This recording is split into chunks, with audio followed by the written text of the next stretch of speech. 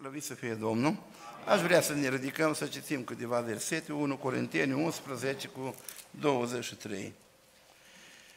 Căci am primit de la Domnul ce v-am învățat, și anume că Domnul Iisus în noaptea în care a fost vândut a luat o pâine și după ce a mulțumit lui Dumnezeu a frânt-o și a zis, luați, mâncați, acesta este trupul meu care se frânge pentru voi, să faceți lucrul acesta spre pămonirea mea.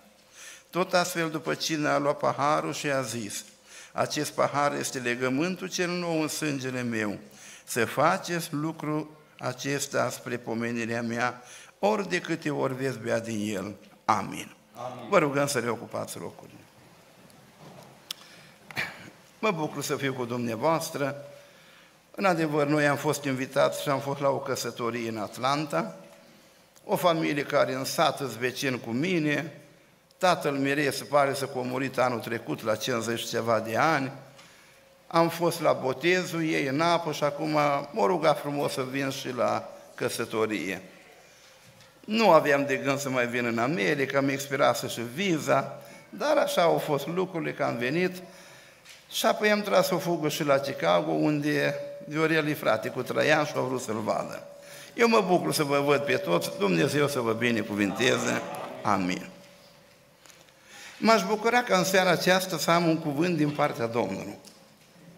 Căci Pavel spunea că ce am primit de la Domnul ce v-am învățat. Și din ceea ce am primit, din ceea ce am studiat, din ceea ce am reținut, din ceea ce am împărtășit cu alți frați, aș vrea să împart și pentru dumneavoastră câteva gânduri referitor la cina Domnului. Mai înainte m-aș bucura să avem dorința pe care o avea Domnul, când spunea, am dorit mult să mănânc Paștele acesta împreună cu voi înainte de patimile mele. Deine Domnul dorința aceasta la toți și vă felicit pentru numărul frumos în care sunteți. Fratele Viorel spunea că el se străduiește să nu lipsească de la adunare. Eu am o pricină de laudă pe care nu vreau să o pierd am mai mult decât 10 ani de când n-a lipsit niciodată de la adunare. Dacă acum nu sunt la Bosani, sunt în Chicago. Dar nu știu niciun program de adunare la mine în sat la care eu să nu fi fost. Probabil că dumneavoastră tot așa. Sau nu? Dar nu predic despre prezența la adunare. Aș vrea să vorbesc despre cina Domnului. Și când vorbesc despre cina Domnului, eu am așezat cina într-o diagramă cu mai multe coordonate. Prima coordonată e coordonata de timp. Și am așezat cina Domnului între grabă și zăbavă. Cina Domnului, pe coordonata timpului, era cu o dată precisă. Din ziua 10 fiecare evreu trebuia să ia un miel de parte bărbătească, să-l păstreze până în ziua 14 între cele două seri. Atunci se junghia mielul să prăznuia Paștele. În ziua 14 din luna întâia. Dacă se întâmpla ca în timpul călătoriei, cineva să nu poată prăznui Paștele, așa cum a fost în număr capitolul 9, versetul 6, s-a întâmplat ca unii fiind în călătorie, n-au putut prăznui Paștele. Legea era a doua lună, în ziua 14 să prăznuiască Paștele. Și dacă cineva nici în a doua lună nu prăznuia, trebuia nimicit. Asta e legea. Cu harul cum e? Eu de ce mi-am propus să nu mai lipsesc de la adunare? Am lucrat mecanic locomotivă. Pe când făceam odată ajutor mecanic, un coleg de-al meu, un nepocăit și un rău, toate păcatele le-au avut ăla. S-au pocăit. Da, s-au pocăit la sâmbătaș, la adventiști. Și acum eu făceam de serviciu cu el într-o noapte și spune, frate Dragoș, mulțumesc la Dumnezeu că de 10 ani de când m-am pocăit, n-am lipsit de la niciun sabat. Așa aranja turli cu colegii, cu șefii, nu, nu lipsise nicio sâmbătă de la slujbă. Eu mă gândeam în mintea mea, tu ești cu legea, n-ai voie, dacă eu sunt har, mă duc, când vreau, lipsesc, când vreau, că eu sunt har. Nu? Nu. E, atunci m-am hotărât. Revin. Pe coordonata timpului am așezat cina între grabă și zăbavă. Prescripția era clară. În ziua 14 în luna întâi sau luna a doua. Dar un amănunt mi-a atras atenția. Din pregătirea Paștelui, Exod, capitolul 12, versetul 11, spune să-l mâncați în grabă, căci este Paștele Domnului. Și am spus eu, grabă la ce? De ce trebuie în noaptea aceea evrei să se grăbească? O recomandare le-a dat Moise să socotească fiecare cât poate mânca în fiecare familie. Și dacă într-o familie sunt prea puțini, trebuia să ia Paștele cu vecinul cel mai de aproape. Dar dacă eu nu trăiesc bine cu vecinul, frații mei, eu pe voi vă iubesc, n-am, Dumnezeu mi martă, n-am cu nimeni nimic. Nu știu, voi aveți ceva cu mine? Nu. Ce frați buni sunt la Chicago. Eu am ceva cu niște frați de la mine din sat. Cu niște frați din adunare, cu niște vecini de mei. Am eu ceva. Nu era permis în Israel ca unul din Dan să meargă până în Beersheba la un prieten de-a lui să prăznuiască Paștele. Nu, nu. Obligatoriu era cu vecinul cel mai de aproape. Dar eu repet, dar dacă nu m-am pe bune cu vecinul, dacă cu sora care stau întâmplător pe bancă, nu am afecțiuni pentru ea. Și stau așa un pic cheziș, că o spuse ceva de fata mea, ți-aduce aminte? Ei, de atunci nu mai pot să văd. Și vine cina Domnului. Eu am spus grabă în refacerea legăturilor. Îi cina Domnului. Și eu mă uit în adunare. Pot să iau cina cu fiecare. Și dacă cu cineva nu pot să iau cina, trebuie să mă grăbesc să mă duc să mă împac. A, nu poți acum. Nu nimic, scrie în Cartea 2 Cronici, capitolul 30, Ezechia au vrut să prăznuiască Paștele. Dar nu erau pregătiți nici poporul, nici leviță. Și au spus, măi, nu mai prăznuim în luna întâia, hai amânăm în luna a doua. Dar s-a uitat împăratul, dar nici în luna a doua nu erau pregătiți. Nu era poporul sfințit. Știi ce a făcut împăratul? S-au iertat, au spus, Doamne, iartă poporul tău, primește-l așa cum este, dar i-a pus, o făcut niște juruinți. Și când mergem în Cronici, capitolul 31, după ce o prăznuit Paștele, fiecare s-a dus în cetatea lui și a împlinit ce a promis. Ai ceva cu o persoană din adunare, uite, nu e aici? nu e nimic. Te duci acasă și îți spui, cum ajung acasă, pun mâna pe telefon și mă împăc și îmi cer iertare. Puteți? Dar asta trebuie să o faceți în grabă, că e Paștele Domnului. Vă propuneți asta? Eu nu vă cunosc, nu vă știu pe fratele Aurel și pe fratele uh, Adrian. Nu, Adrian e, e cumnatul, Costel. Eu cu cumnatul sunt prieten creșcă. Deci pe celălalt nu vă cunosc. Dar e Paștele Domnului și niște lucruri trebuie să le facem în grabă. Le putem face acum? Doamne ajută-ne! Amin. Grabă la ce grabă? Evreii erau în robie. Au stat 400 de ani în robi. Ei au stat 430, dar 30 nu au fost robi. Trăia Iosif, se cunoșteau cu, cu faraon, dar după 30 de ani au intrat robia în ei. După 400 de ani a venit vremea să iesă din robie. Nu credeți că la ieșirea din robie trebuie grabă? Nu s-au săturat ei din robie? Acum mai sunt oare aici robi? Fiecare este rob învățăturilor. Frații mei, fiecare om este rob învățăturilor pe care le are. Un ortodox face cruce, pupă icoanele, dă cu aghiazmă, că așa au învățat. Un sâmbătat, sâne sâmbăta, ăia reformiști nu mănâncă carne, au obicei. De ce? Așa au fost învățat. Un peticostal botez cu Duhul Sfânt, vindecări, prorocii, dar de ce? Păi eu așa am fost învățat. Ca un om să schimbe credința sau măcar religia, el trebuie să schimbe învățătura. Să spună asta nu-i mai bun învățătura, asta nu mă satisface, o îmbrățișez pe asta la altă. Dar știți că spune în Coloseni că unii sunt robi învățăturilor începătoare ale lumii? Dacă cineva este rob acestor învățături lumești, a unor obiceiuri, a unor filozofii de viață, hai să ieșim din robia asta și Dumnezeu să ne ajute. Voi ați fost prescumpărați cu un preț, nu vă faceți robi oamenilor. Unii ajung robi oamenilor. O spus fratele, vai, eu din partida lui, uh, trebuie să mă voteze. Nu, nu, nu, nu. Noi suntem răscumpărați de Domnul Isus. Nu ne mai facem robi oamenilor. Căci fiecare este rob lucru de care este stăpânit. Există robia păcatelor. Vrea cineva să scapă de robia asta? Păi dacă vrea cineva să o facă în gravă, unul rob la o poftă, unul la o patimă, unul are o deficiență în care trăiește, unul nu poate scăpa de minciună, altul de bârfă, altul de ură, altul de clevetire. N-ar fi bine în seara asta să ne grăbim să ieșim de aici?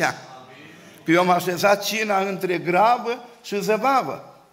Grabă în refacerea relațiilor, grabă în părăsirea robiei și grabă în contemplarea lucrărilor lui Dumnezeu. Că evreii s-au speriat, dar spune acolo în uh, Exod 14 cu 14, uh, Domnul luptă pentru voi, dar stați liniștiți. Și în, în față erau valurile mării, în spate era faraon cu cară. S-au temut evrei, au început să țipe. Știți ce a făcut Dumnezeu? A făcut o minune. A făcut să sufle un vânt, întâi a pus un nor. Un nor curios. Norul ăsta pe de o parte era lumină, pe de o parte întuneric. La egipteni întuneric, la evrei era lumină. Tot în noapte au bătut vântul. Ce vânt era acela? Azi am la Chicago, m-am suit pe bloc acolo la Traian și bătea vântul tare. Apoi acolo ce vânt au bătut, nu știu, dar o dat apele la o parte, o uscat fundul mării și au trecut evreii ca pe uscat. E o minune? Suntem gata să participăm la minunile lui Dumnezeu? La cina Domnului? Fraților, cina nu o luăm pentru vindecare trupească. Nu pentru aia o luăm. Dar eu am văzut și vindecări la cina Domnului. Ați văzut și dumneavoastră? Bine, acum când vorbim de mielul pascal, era împărțit în două. Carne și sânge. Sângele era pentru Dumnezeu, ungea ușorii la ușă. Și când îngerii vedeau semnul, nici nu băgau capul pe ușă să vadă evrei, să roagă, dorm, îți pe tabletă. Nu, nu interesa. El vedea sânge și pleca mai departe. Sângele era pentru Dumnezeu. Dar carnea, pentru ce era carnea? Păi carnea trebuie să o mănânce evrei. Cercetătorii Scripturii spun că carnea mielului pascal a fost de fapt Uh, prilejul unei vindecări colective. Că spunem Psalmul 105, versetul 37, niciuna din semințiile lui n-a șovăit. În traducerea engleză, niciunul n-a fost neputincios. Frații mei, aproape 2 milioane de oameni, estimativ. Aici la voi cât sunt acum la adunare? Sunt 200? Sunt bolnavi aici?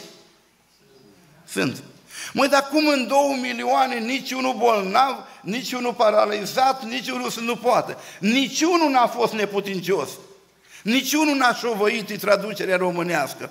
Și teologii spun că acea carne a fost o vindecare com- comună. Dumnezeu i-a vindecat pe toți să poată ieși din Egipt. Când mergem la jertfa Domnului Isus, o împărțim în două, carne și sânge.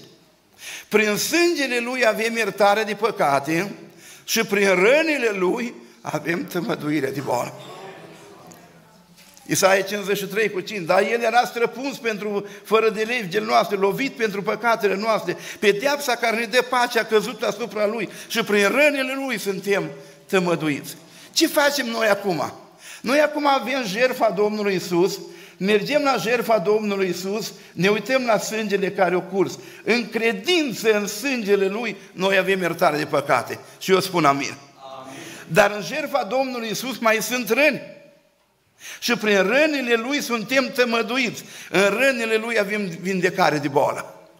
Avem vindecare de boală. Că tămăduirea de acolo nu e o tămăduire sufletească, e o tămăduire în trup. Când Matei Domnul Iisus intră în casa lui Petru, vindecă soacra și aceasta ca să se întâmple prin rănile lui a fost tămăduit.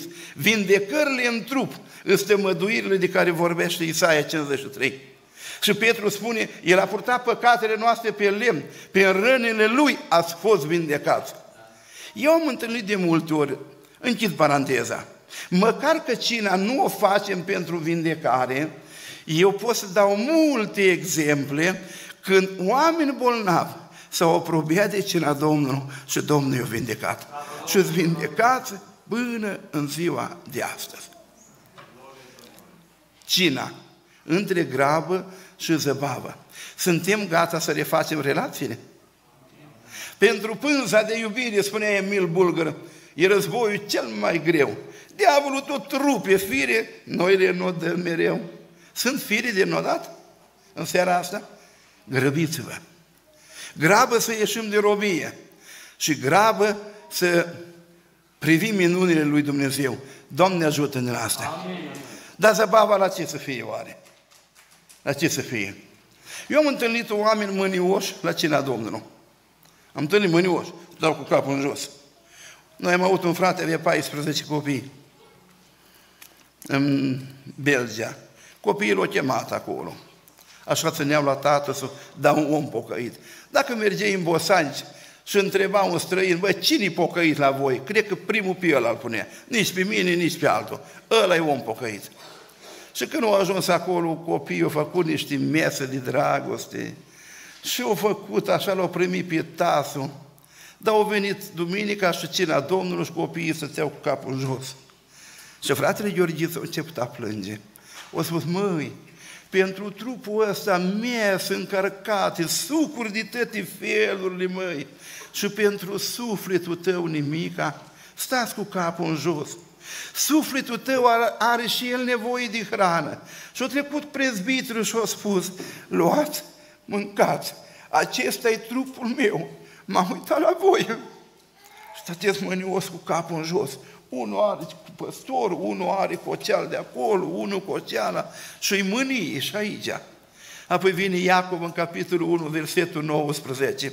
Știți bine, prea iubiții mei, lucrul acesta. Orice om să fie gramnic la ascultare, încet la vorbire și zăbavnic, mai sunt mânioși aici între voi la cena Domnului? Mânioși pe ceva, că nu le-au ieșit. Mânios pe cineva.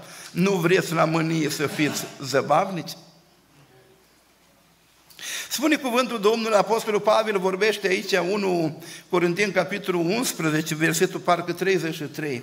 Fraților, așteptați-vă unii pe alții. E vremea ca din familiile noastre, din adunarea noastră, să ne așteptăm unii pe alții.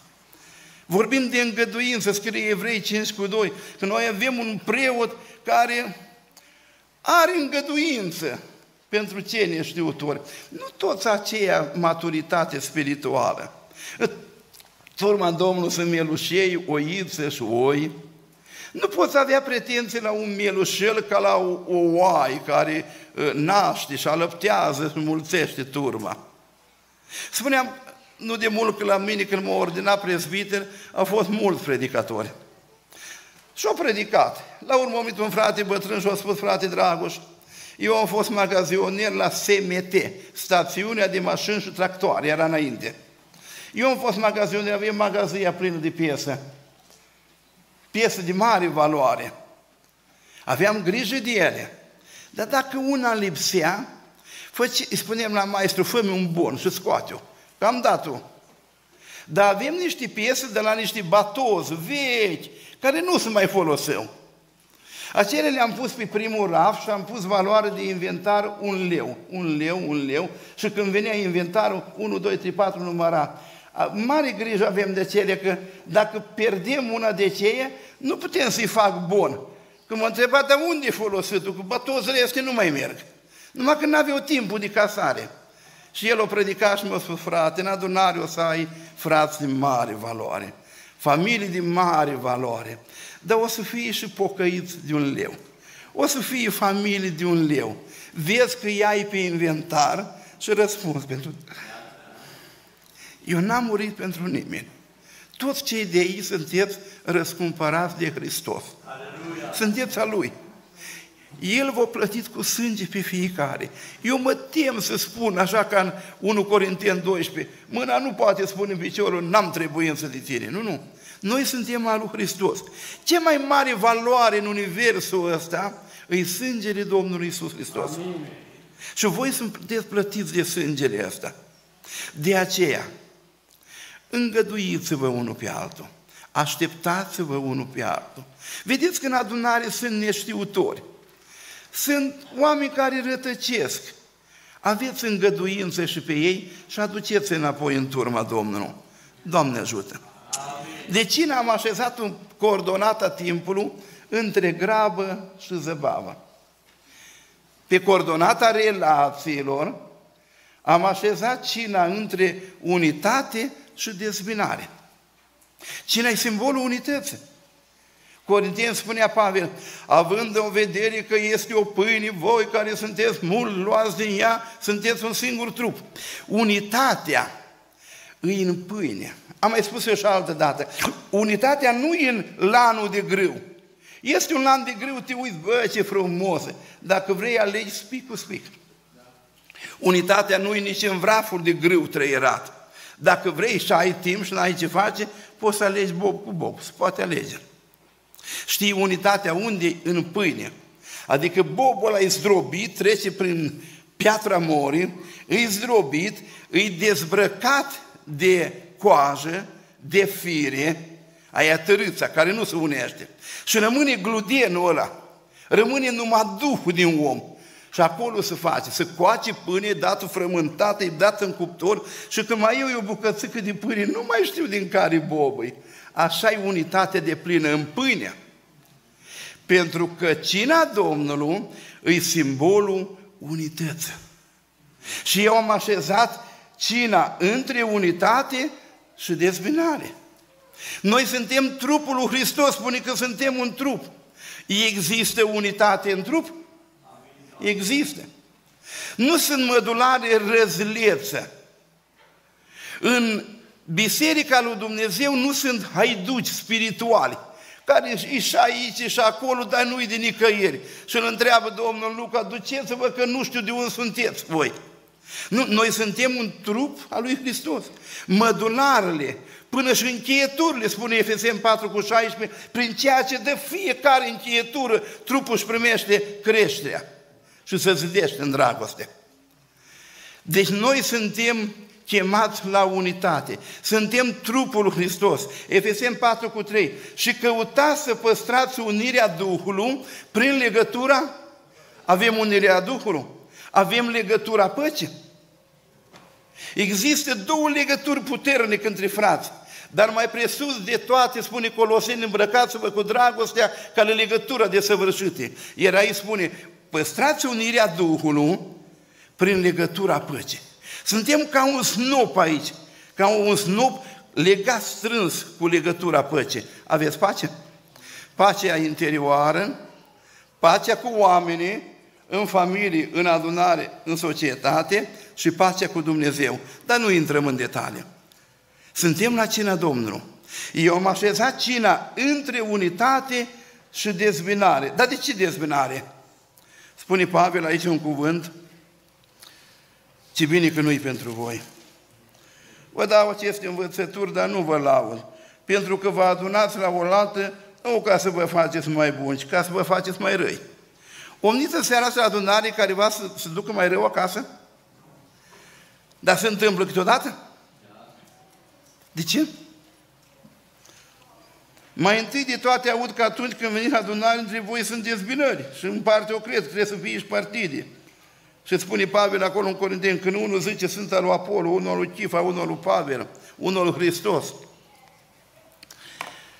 Există dezbinări și partide. Din ce cauză se fac partidele în adunare? Eu am fost interesat. Frații mei, nu polarizați puterea.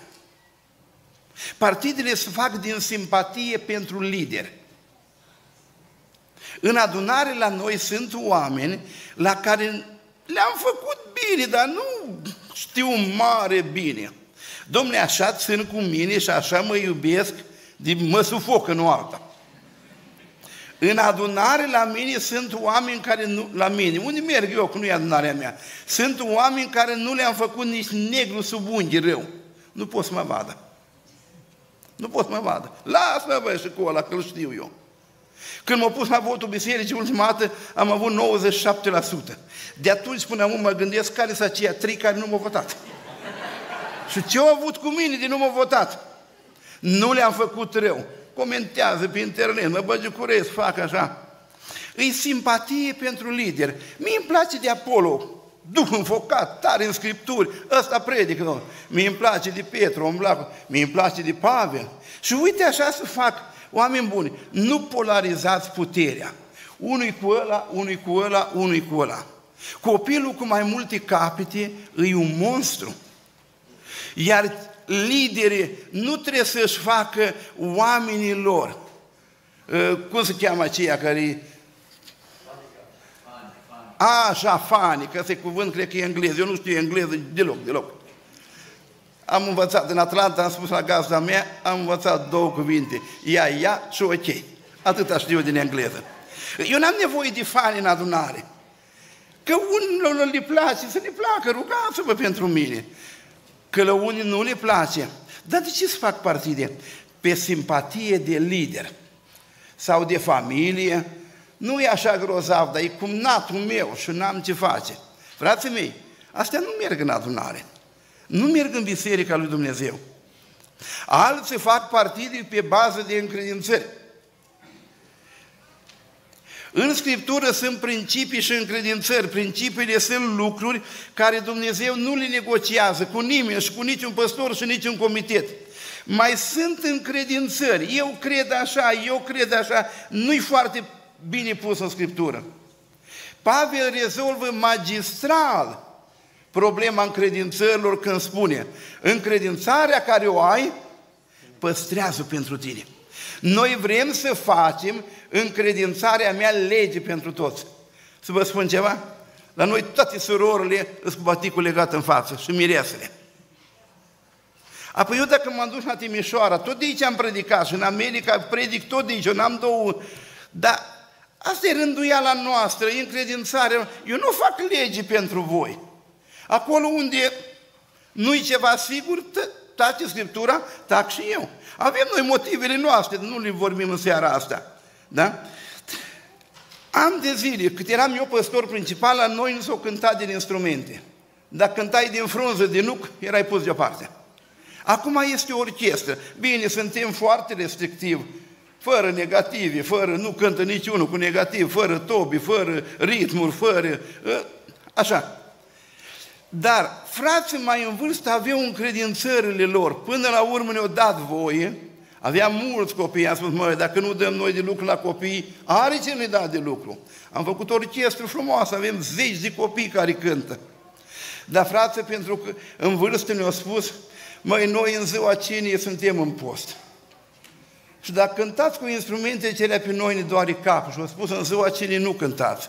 Și am spus, mă, dacă ei ne-au lăsat, că ei ne-au lăsat, noi pocăința de la dâns am luat-o, am preluat-o, ne-au lăsat cu instrumente. Hai să ținem și noi cont de dorința lor. Și așa ne-am împăcat, tineri cu bătrâni și în unitate. Mulțumim Domnul! Deci, partidele se fac pe simpatii de lideri. Eu am întâlnit cina Domnului, când unul mergea cu paharul pe aici, o ajuns la cor și a spus, eu nu iau cina de la asta. Și a fugit în spatele adunării să vii cealaltă. Ce cină e asta, măi, oameni buni? Ce cină e asta? Ce cină e asta? Simpatii de lider, încredințări sau un mod de viață trăit. Că unii să năcăjesc să trăiască pocăința, stau în poș și rugăciune. Ce am văzut eu bine în America, aici în Atlanta, unde am fost, în fiecare seară grupuri de rugăciune. Dar rugăciuni, domnule, rugăciuni, că nici la noi în Bucovina, cu strigăte, cu lacrimi, bine, nu toți. Cam aceleași familii vin. Dar am întâlnit și lunea rugăciune și vinea când nu e adunare rugăciune. Am văzut oameni care se străduiesc să trăiască pocăință. Iar unii sunt de dreptul lumești. Apoi cum să mă împac așa de bine cu dânsul când el nu are nici în clinici mâini cu pocăință? Ai trecut membru aici și uite așa să fac partide. Așa să fac partide. Dar eu am așezat cina Domnul între unitate și dezbinare. Asta pe coordonata numită relație între frați. Pe coordonata importanței. Să știți că cina Domnului e foarte importantă. Cea mai mare sărbătoare din, la evrei este cina Domnului, instituită de Domnul. Iar în biserică singura sărbătoare, noi ne-am făcut sărbători când ne plac și faceți-le. Singura sărbătoare poruncită de Domnul Isus e cina Domnului. Amin. E cina Domnului. Să faceți lucrul acesta spre pomenirea mea. Cina Domnului e foarte importantă. La evrei era foarte importantă. Cina Domnului simbolistică ei vorbește de moartea Domnului, vorbește de unitatea bisericii, vorbește de revenirea Domnului. Prin simbolistica ei, cina este foarte importantă. Dar eu m-am așezat cina pe coordonata asta importanțe între sacru și profan. Am spus, cina Domnului e un act sacru, e o sărbătoare sfântă. Dar nu toți o tratează așa. Unii o tratează ca un obicei. Nu-i dau importanță. Și obiceiurile, până și acele bune, au pericolul uh, lipse de respect. Eu am făcut armata la Timișoara, primul 80. Am fost repartizat la singurul colonel de unitate, la Cișoda. Era colonel cu o academie militară făcută la Moscova, secția comando. El avea cel mai mare. Și pe mine m-a dat la el, îi făceam focul, ștergeam praful, lustruiam ciubotele. În armată știți cum e, cine nu a făcut armată? Nu vorbești ca la adunarea generală uh, de la Getismani. Acolo stai drept, numai salut, numai bas pas de filare, când vine comandantul, vrei să spui ceva, doar și comandant, permite să raportez. Și el dacă spune da, îi spui. Dacă spune nu, te-ai înturnat, te-ai salutat, nu mai spui și te doare capul pe tine. Băi, trei săptămâni, numai așa am făcut. Drept, drept, Torci comandant, permite să raportez, am făcut focul. Torci comandant, torci comandant. Dar stând în birou, mereu, tot discutând, el era un om cu minte. Băi, camarade, bă, de unde ești? Din Bucovina. Mai ai părinți? Da. Mai ai frați? Da. Ce școală ai făcut? Și tot vorbeam toată ziua cu mine până ne-am învățat. După ce ne-am învățat, îi spunea, toți colonel, hai dați-mi o permis, toți colonel, hai dați-mi o permisie. El tot colonel era și eu tot soldat. Dar ne-am obișnuit unul cu altul și nu ne mai respectam. Așa se întâmplă și la cina Domnului. Frații mei, atâta ne-am obișnuit cu prorociile, atâta ne-am obișnuit cu adunarea, cu cântarea, cu predica, că aproape nu ne mai interesează. Atât ne-am obișnuit cu cina Domnului de două ori pe lună, de două ori pe lună, să cotiți în 70 de ani câte cine ați prins voi aici. Și nu mai tratăm ca pe ceva sacru, e ca pe ceva obișnuit. Și obișnuitul are pericolul lipsei de respect. Mă rog Domnul ca în seara aceasta Domnul să ne facă conștienți că sărbătoarea aceasta e ceva sfânt, dorit de Domnul, că El vrea să cineze cu noi. Doamne ajută-ne! Și ajunge până acolo, ajunge până acolo când Pavel spune că ce se întâmpla în Corint era o problemă. În Corint erau toate darurile Duhului Sfânt, dar era mare neorânduială. Pavel nu oprește exersarea darurilor, ci pune rânduială. Doi, trei, celălalt să tacă, să judice. La cina Domnului era mare neorânduială. Pavel nu oprește cina, dar face rânduială, că spune, măi, voi veniți aici la grămadă și mâncați acea masă agapi, masă de dragoste. Și unul aduce o mâncare și altul aduce altă mâncare și altă altă mâncare. Hai să prăznuim și cina și spune, nu deosebiți trupul Domnului. Știți de ce? Nu, nu mai știe care pâinea pentru cină și care pâinea pentru, pentru ciorbă. Erau puse grămadă toate acolo, era neorânduială. Și Pavel spune, mâncați acasă. N-aveți casă să mâncați? Mâncați acasă și aici rămâne numai cina, ca să fie important, să puteți deosebi trupul Domnului. Am așezat la cina. Pe coordonata asta importanței între sacru și profan. Cina Domnului e o sărbătoare sfântă, să o tratăm ca atare. Amin. Și pe coordonata caracterului, și tot acum spun amin, am așezat cina între smerenie și mândrie. Între smerenie, asta se întâmpla în Corint. Și Pavel spune, măi, nu-i bine ce faceți.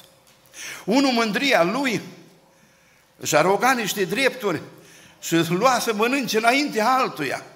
Ca și cum câteodată unul în adunare ar vrea el să preia slujirea, să împartă cina, să predice el.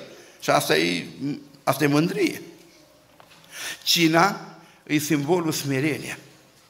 Acolo e spălarea picioarelor, acolo e ligianul, acolo e ștergarul, acolo. Da. Cina e simbolul smerenia. Când cei bogați cu cei săraci iau din același trup al Domnului. Să spală picioare. Pavel îi spune lui Filimon, Filimon, tu ești mare stăpân de sclavi. Vezi cum băietul a fugit de la tine cu numele Onisim. Filimon era mare patron de sclavi, ăsta făcea treabă, Onisim toată ziua. Dar vinea adunarea. Și când vineau la adunare, erau tovarăși. Să-l fi văzut pe Filimon cum îi spăla picioarele lui Onisim. Că asta înseamnă pocăință. Să-l fi văzut pe Filimon cum îi da lui Onisim, sclavul Onisim. Acesta e trupul meu. Asta înseamnă umilință. Îmi povestea un frate bine cunoscut în orașul la ei, era un director de spital și paznicul. Paznicul făcea de, de pază, mai mătura prin curte că nu era mare spital. La un moment dat s-a pocăit directul. Dar cunoscut directul. Și o venit la adunare. Și paznicul în râmna lui spunea, domn director, cântăm o cântare amândoi. O că fi văzut pe amândoi cine știa, unul director general și unul acela care mătura prin curte, și cu caietul, am un director care era mai cu minte, dar paznicul avea mult râmnă. Și cântau amândoi, făceau spălare amândoi, că la adunare suntem egali. La adunare nu avem patroni și angajați. Nu avem ingineri și analfabeți. Nu, nu. La adunare suntem frați. Asta înseamnă cina Domnului. Asta înseamnă smerenie. Asta înseamnă umilință. S-au disprețuit pe cei care n-au nimic, spunea Pavel. Erau și săraci acolo. Și s-au tras chiaburii la o parte și săraci să mănânce ei, că ei n-au ce mânca. Noi mâncăm între noi. Avem un frate care s-a pocăit de mai mulți ani. Un om vestit în lume, cântăreț, la biserica ortodoxă, mare patron, el era cu echipa de fotbal, el era cu benzinăriile din sat. Spune, frate Dragoș, eu când mergem la o nuntă, mi-alegem oameni cu care stau. Păi nu stau cu oricine la masă. Băi, stau cu cumătru, stau cu finul, stau cu ăla. Și că acum văd că la voi la adunare sunteți la grămadă. Dar o să îmi place cum e la voi. Omul e pocăit, a intrat în comitetul adunării, la adunare suntem una. Nu mai sunt doamne și țărângi, nu mai sunt discrepanțele astea. La cina Domnului suntem una. Eu am așezat cina Domnului între umilință și mândrie. Deie-ne, Domnul, că la cină din seara asta să fim oameni smeriți. Amin. Și acela care e între noi mare, să fie Domnul Isus. La cină se pot predica multe lucruri, nu le-o spune noi pe toate. Dar am avut gândul ăsta, să așez cina Domnului într-o coordonată pentru cei care au făcut eh, la matematică diferite diagrame. Coordonata timpului între grabă și zăbavă. Grăbiți-vă la cei bine și zăboviți cei rău. Eu spun amin la asta. Amin. Pe coordonata relației între unitate și dezbinare, fiți una, oameni din Ghetismani. Pe coordonata importanței între sacru și profan, cina Domnului Sfântă, o tratăm ca atare. Și pe coordonata de caracter am pus-o între umilință și mândrie. Vreau să fim smeriți. Doamne ajută-ne! Și repet din nou gândul. Am dorit mult să mănânc Paștele acesta împreună cu voi, înainte de patimile mele. Că vă spun, de acum nu noi mai serba aici, decât nou în împărăție. Nu știu dacă ne-o mai vedea. Deci hotărârea mea interioară, dar n-am spus la nimeni că Eclesiastul 5 cu 2 spune nu te pripi să faci o hotărâre. Și acum, în interiorul meu, spun, nu mai am ce căuta în America. Am o vârstă, soția a fost operată de cancer, are probleme, eu trebuia să vin cu ea. Și nevastă mea ultimul spune, mă, eu nu merg pe avion, nu ies, mă, eu sunt bolnavă. La familie am spus, eu nu călătoresc singur. Dacă îl lămuresc pe fratele Viorel și am insistat mult de el ca să vină, de ce eu a venit? Nu știu dacă ne mai vedem. Dar nou în împărăție. Să ne întâlnim cu toți. Amin. Sunt lucruri care nu ne sunt îngăduite aici. Moise de pe vârful muntelui Pisa cu mâna streașă la ochi să uita, că așa i-a spus Domnul, du-te uite. Și a spus, Doamne, lasă-mă să intru. Destul, Moise, nu intre.